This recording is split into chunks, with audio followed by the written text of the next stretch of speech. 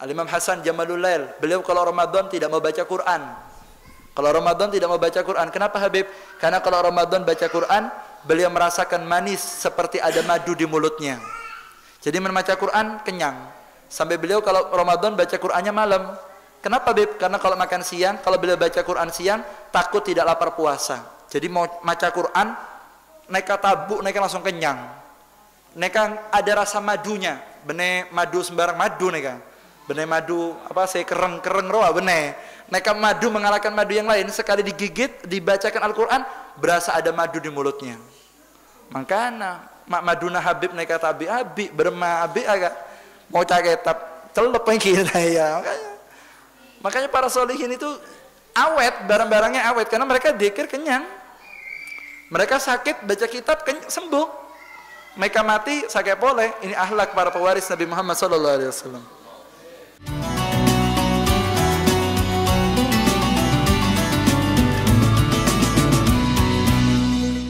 ada satu orang soleh bernama Abdurrahman bin Abi Nuaim.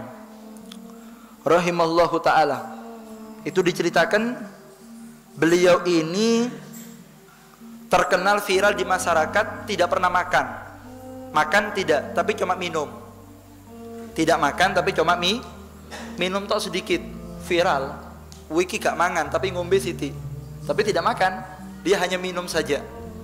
Viral di karangan masyarakat Akhirnya Abdurrahman bin Nu'aim ini bin Abi Nu'aim ini dipanggil oleh Hajjat bin Yusuf.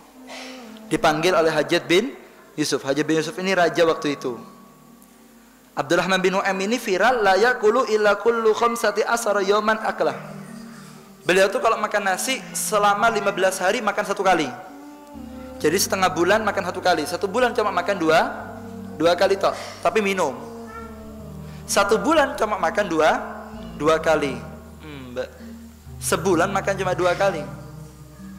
Akhirnya penasaran temenan tah mangane cuma saulan ping loro. Akhirnya dipanggil sama Hajjat bin Yusuf. Hajjat bin Yusuf ini raja waktu itu. Fada'ahu summa amara summa umira bihi fawadda'a fi baitin wa ugliqa alaihi bab akhirnya dimasukkan ke dalam mana? Dipanggil dimasukkan ke dalam rumah. Kemudian rumahnya dikunci dan dikasih makan sendirian di dalam situ. Selama 15 hari. Selama 15 hari. Akhirnya setelah datang hari ke-15 summa fataha alaihi faidah huwa qaimun yusalli. Ketika dibuka oleh Hajat bin Yusuf ternyata Al-Imam Abdurrahman bin Abi Nuaim beliau dalam kondisi berdiri salat kepada Allah Subhanahu wa taala. Selesai salat ditanya 15 hari kamu tidak makan? Tahan tahan. Bagaimana saya mau lapar kalau saya ingat sama Allah Subhanahu wa taala jadi orang soleh itu kalau dikir kenyang perutnya. Itu semua didapatkan setelah mereka istiqomah menahan lapar, menahan nafsu, baru mereka merasakan kenikmatan ibadah kepada Allah Subhanahu wa taala, mengalahkan nikmat daripada seluruh makanan dan kenikmatan yang di dunia saat dia bersambung dengan pencipta dunia dan akhirat yaitu Allah Subhanahu wa taala. Al-Imam Hasan Jamalul Lail, beliau kalau Ramadan tidak mau baca Quran. Kalau Ramadan tidak mau baca Quran, kenapa Habib? Karena kalau Ramadan baca Quran, beliau merasakan manis seperti ada madu di mulutnya. Jadi membaca Quran kenyang. Sampai beliau kalau Ramadan baca Qurannya malam. Kenapa Beb? Karena kalau makan siang, kalau beliau baca Quran siang, takut tidak lapar puasa. Jadi mau baca Quran, neka tabu, neka langsung kenyang. Neka ada rasa madunya. Benih madu sembarang madu neka. Benih madu apa saya kereng kereng roa benih. Neka madu mengalahkan madu yang lain. Sekali digigit, dibacakan Al-Quran, berasa ada madu di mulutnya makana mak maduna habib naik kata abi abi berma abi agak mau cari tap celup kita ya makanya makanya para solihin itu awet barang-barangnya awet karena mereka dikir kenyang. Mereka sakit baca kitab sembuh. Mereka mati sakit boleh. Ini ahlak para pewaris Nabi Muhammad Sallallahu Alaihi Wasallam. Hmm? begitu ya mereka orang-orang soleh semoga barokahnya ya. Hmm?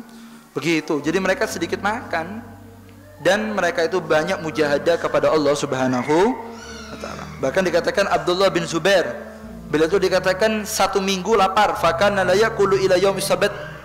Kalau Imam Abdullah bin Zubair beliau itu tidak pernah makan kecuali hari Sabtu, seminggu satu kali makan. Sisanya minum air. Seminggu sekali makannya. Bahkan Al Imam Abu Hanifah beliau itu makannya sedikit satu hari tapi sedikit dan beliau tidak pernah nyimpen makanan di dalam rumah Imam Abu Hanifah gurunya Imam Syafi'i. Tapi beliau udah ketemu sama Abu Hanifah muridnya Imam Ja'far Sodik tidak pernah nyimpen makanan di rumah kalaupun makan cuma sedikit. Masya Allah ya. Saya iki buka kulkas mbak. Macam-macam ya. Kalah Indomaret ya.